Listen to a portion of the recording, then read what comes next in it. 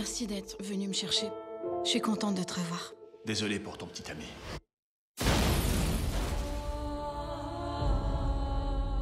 C'était la chambre de ta mère.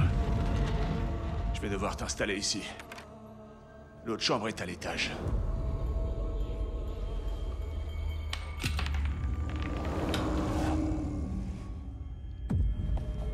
Joyeux anniversaire. Coucou, Jezabel.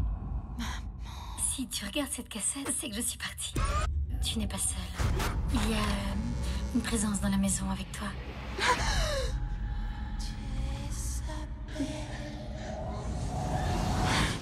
Je vois une mort absolument atroce.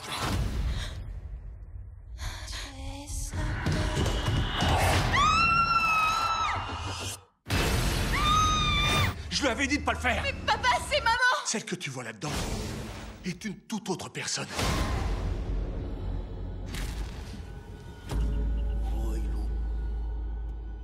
Qui es-tu?